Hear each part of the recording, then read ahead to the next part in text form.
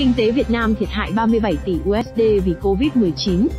Phó trưởng Ban Kinh tế Trung ương Nguyễn Thành Phong, tính toán 2 năm qua nếu không có dịch Covid-19, nền kinh tế Việt Nam tăng 7%. Tuy nhiên, do tác động của đại dịch, tốc độ tăng trưởng kinh tế chỉ tăng 2,9% vào năm 2020 và dự kiến tăng 2,5% năm nay. Như vậy, kinh tế thiệt hại khoảng 160.000 tỷ đồng vào năm 2020 và 346.000 tỷ đồng năm 2021.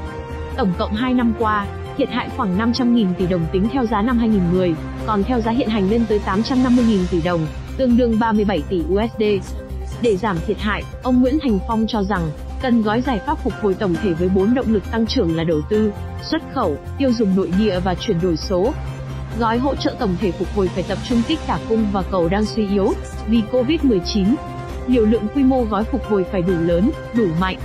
Gói này cũng phải thực thi nhanh và phối hợp hài hòa giữa các chính sách vĩ mô. Việc này sẽ tạo cú hích cho nền kinh tế, nhưng tránh nguy cơ có thể gây lãng phí.